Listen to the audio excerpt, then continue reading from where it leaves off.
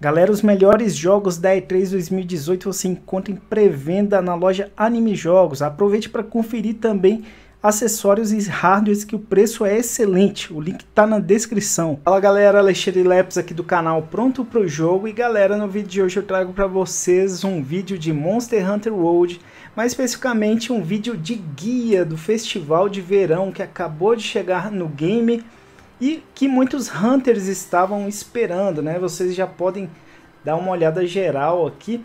Essa aqui é a área de encontro do game, ela já está toda personalizada com a questão do festival de verão e muitas quests voltaram, né? Retornaram aí com o festival.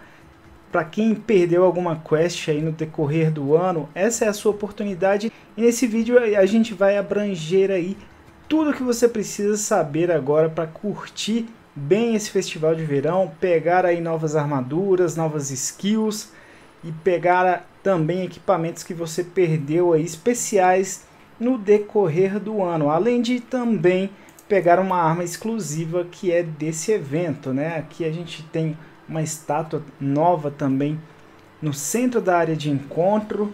Se vocês perceberem os personagens aí a moça do salão, a moça da arena, né? Temos aqui também a, a moça das provisões, né? Todas elas estão usando aí roupa do verão, né? Meio que biquíni e tudo mais. Então tá tudo bem personalizado. A música mudou também.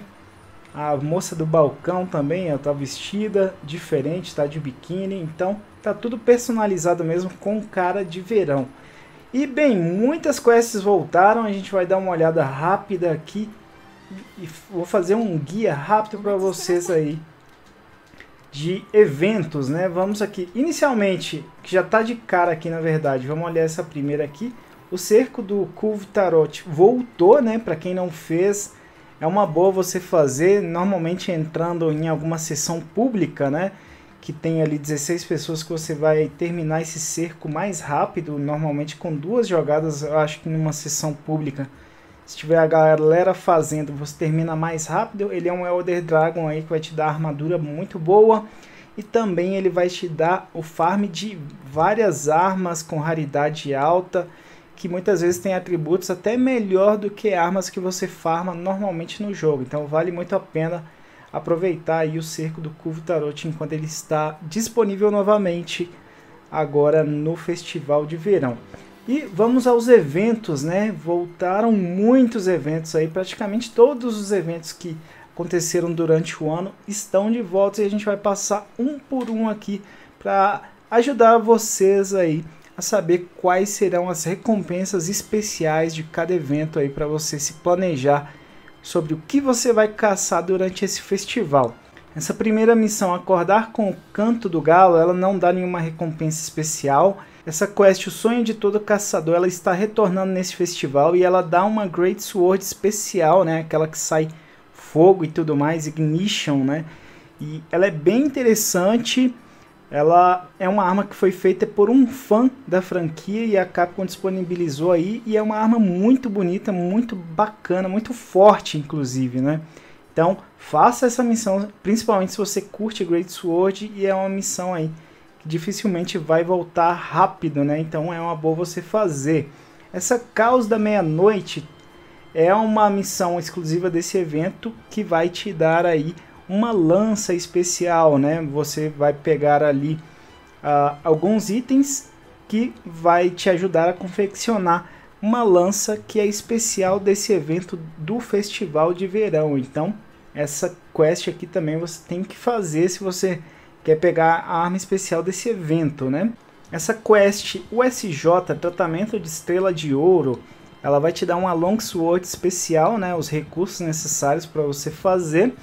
E vai te dar também a coroa pequena do Great Chakra e a coroa grande. Então é uma boa. E ele vai te dar aí o primeiro nível da arma, né? Provavelmente ainda durante o evento apareça a quest do segundo nível, né? Para você pegar o segundo nível dessa arma uh, ainda antes do fim do evento. Inicialmente eles disponibilizaram somente essa. Acredito que na próxima semana devem lançar o evento para pegar o segundo nível. Essa quest Lições da Natureza ela vai te dar aí recursos para fazer um equipamento especial para o seu gato, né? Então, se você quer personalizar o seu gato, faça essa missão. A missão da aprovação é a quest especial da Eloy, né, do Horizon Zero Dawn, onde você vai conseguir a skin da Eloy também o arco da Eloy. Faça ela também. A Rush de Sangue é para quem não pegou aí o palico o equipamento do Mega Man para o gato, né? Então, para o seu palico aí, se você quiser equipar ele com aquela skin do Mega Man, você vai fazer essa Rush de Sangue. Código vermelho aí é para quem quiser pegar a skin do Dante e também a Charge Blade do Dante, né? Então, fica aí a dica. É uma boa também, essa eu quero fazer, essa eu perdi. Ah, essa jogar conversa fora, você não ganha nada especial. Essa aqui também do Yaku, o que mesmo você não ganha nada demais. Essa recebendo os glutões é para você farmar aí alguns vales, né? E com esses vales, por exemplo, você pode usar ali na hora de fazer uma alimentação, de repente você pode pagar, por exemplo, para ter mais sorte durante a alimentação e com isso vir até mais itens raros ao final de uma quest, né? Então é uma opção se você quiser farmar vales recebendo glutões vai te dar isso. Essa quest Guerra Cruel na Agulha, ela é mais para farmar esfera de armadura avançada, né? Então, para melhorar aí os, as suas armaduras, você vai precisar dessas esferas para deixar sempre a sua armadura aí upada no máximo, né? Isso aqui, então, é uma boa quest para isso.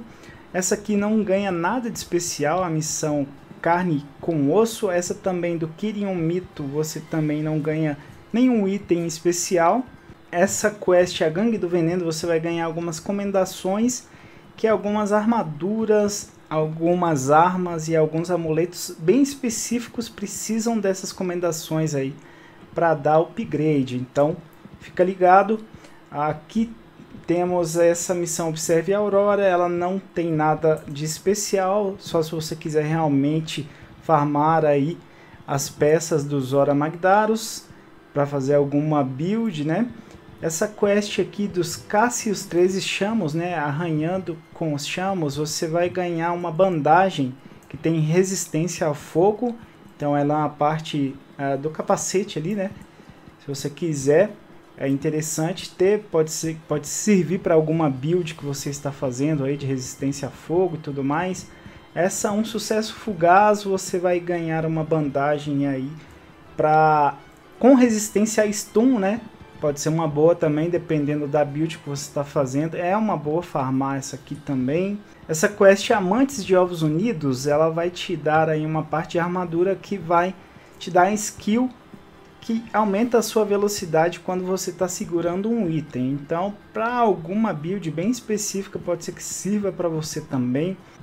Essa missão tremendão, tremendão, ela vai te dar aí recurso para fazer um capacete especial que parece uma serpente que aumenta a chance aí de você, quando usa um item, os seus amigos que estão por perto também receber os bônus desse item, né? Quanto maior for o nível dessa skill, maior a chance dos seus amigos receberem os bônus aí de qualquer item que você usar.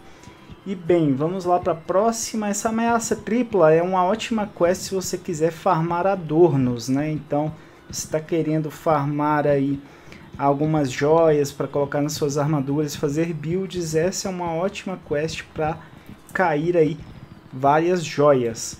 Vamos para essa próxima, a Rolê com Uragan, ela é uma quest também para você farmar esferas de armadura avançada, para dar upgrade aí nas suas armaduras, tanto ela como a Guerra Cruel na Selvagulha tem mais ou menos aí o mesmo propósito.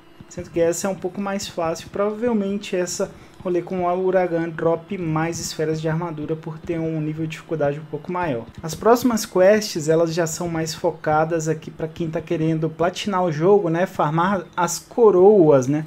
Coroa mini e também as coroas grandes, sendo que temos quatro troféus no jogo hoje que exigem essas coroas. Ah, os primeiros dois troféus são 10 monstros que você precisa pegar coroa mini, coroa grande e depois quase todos os monstros que são cerca de 28 monstros, né? Essas quests aqui, todas elas, ó, uh, o Blues do Verde Profundo, Bolero da Selvagulha, Valsa Coralina, Ópera, ópera Efluvial, Recesso de Rock and Roll, todas elas são para você farmar aí coroas. A, a, chance de você pegar a coroa de pelo menos um ou dois monstros é muito grande nessas quests. Essa quest aqui do Diablos, ela não tem nada de especial, é mais para você farmar mesmo chifres aí do, do Diablos ou então os itens mesmo, né? As peças do Diablos, mas não tem nenhum item assim especial. Essa quest aqui do Ark Tempered Valhazak é muito boa se você quiser pegar os equipamentos dele, né? São equipamentos muito bons, tanto a dele quanto do Ark Tempered Kirin, né? Essas duas quests já têm armamentos de nível muito alto, né? Que são os monstros aí mais fortes que a gente tem, junto com o Curvo Tarot. E se você quiser farmar Pedriarcos, né, que vai dar aquele upgrade nas suas armas, aquele upgrade máximo, uma quest boa para dropar Pedriarco é essa aqui do Devil Joe Tempered e também tem uma outra aqui que é essa de matar aqui os três Elder Dragons juntos. Essa quest também tem uma alta taxa de cair aí Pedriarcos. Vamos para essa aqui, não tem nada demais, é só se você quiser farmar mesmo a questão aí uh, dos itens do Xenogiva, né?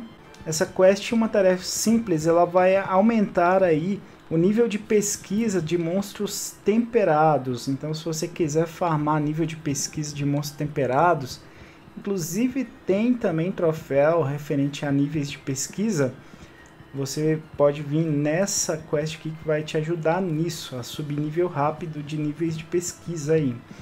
Tanto essa primeira, uma tarefa simples, quanto rastreando a encomenda. E se você está querendo farmar rank de caçador, né? Existe um troféu, inclusive, no ranking 100 você ganha um troféu. Se você está querendo farmar rápido, essas três quests específicas aqui, neve, e flores de cereja vai ser para farmar o dobro de experiência, nariz por olho também.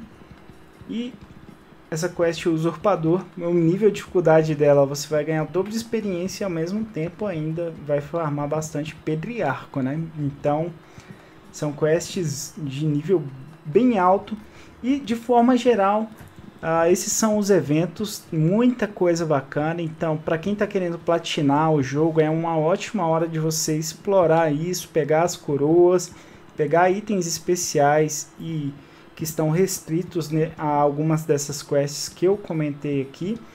Os eventos estão bem legais e tem alguns outros detalhes pequenos, né? Se você tiver alguma dúvida ainda sobre esse evento, aqui no guia do jogo, ver tutoriais Festival do Crepúsculo de Verão tá aqui.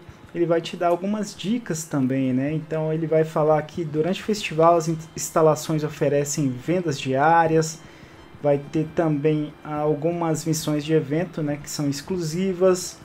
Ah, você vai ter um bônus de login aí que você vai ganhar dois vales da sorte, bilhete do Crepúsculo que provavelmente vai servir para trocar por alguma coisa especial. Eu ainda não sei dizer se aquela arma especial desse evento vai precisar também desse bilhete do Crepúsculo.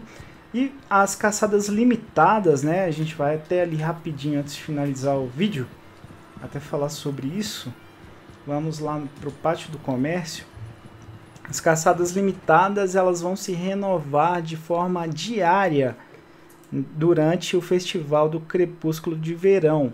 Isso é interessante porque normalmente essas quests elas se renovam de forma semanal, né? Mas durante os festivais elas se re renovam de forma diária. Então você tem a chance de ganhar aí itens especiais todos os dias, né? Para você ir lá na Anciã e farmar gemas que são necessárias normalmente para fazer uma build específica.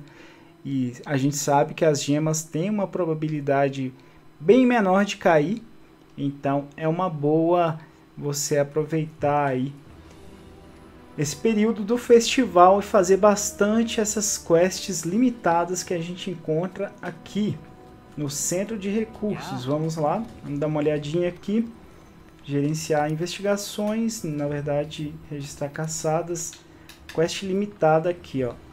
Hoje ela tá pedindo para você concluir três missões uh, nos Planaltos Coralinos, caçar um uragã, caçar mais ou menos aqui cinco monstros aguerridos, né? Então se você pegar tudo isso aqui, você vai ganhar ali a marca de Serperiano de ouro, que normalmente você pode vir aqui na Anciã, na fundidora Anciã, né? E você pode fundir itens, né? Normalmente aqui, ó, os itens mais raros, que são as gemas dos monstros, ela pede uma marca do Serperiano de ouro. Então, se todos os dias aí durante o Festival do Verão você concluir as quests limitadas, você vai estar tá ganhando a marca do Serperiano de Ouro e vai conseguir farmar os itens mais raros do jogo aqui com a Anciã.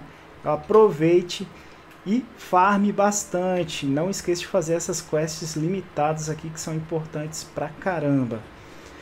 E além disso, uh, os vendedores vão estar oferecendo coisas diferentes aí também, preços diferentes todos os dias.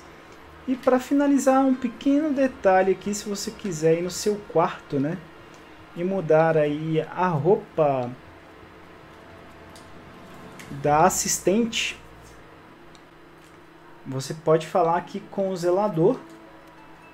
A assistente normalmente é aquela moça que fica sentada na mesa lá que te ajuda com as quests, né? Você vem aqui, ó, mudar a roupa da assistente. Normalmente essa é a roupa normal dela. E aqui tá a roupa dela do, do festival de verão, né? Toda bonita aí, com cara de havaiana. Então fica bem legal. E é bem limitado somente a esse período mesmo. Depois que passa esse período, ela vai voltar a utilizar aí a roupa normal. Aqui o nosso porquinho também tá com uma roupa diferente no, durante o festival de verão. Ficou todo engraçadinho. Olha só.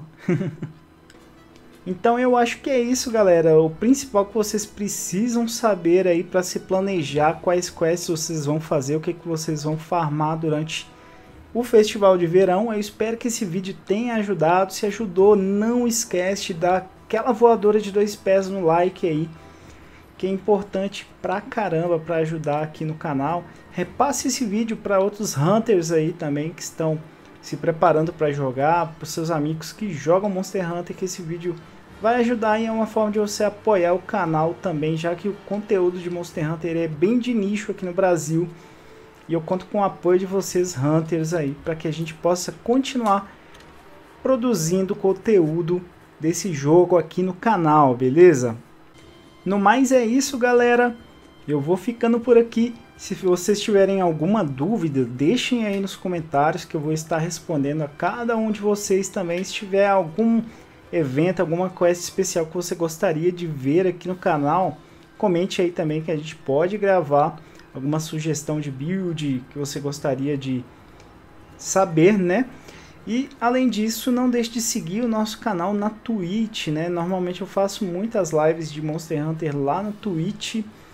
Eu vou deixar o link aí para vocês nos comentários para vocês poderem se inscrever lá no canal da Twitch, beleza? Então é isso. Espero que tenha ajudado aí. Eu vou ficando por aqui, espero ver vocês nos próximos vídeos. Um forte abraço, valeu e fui!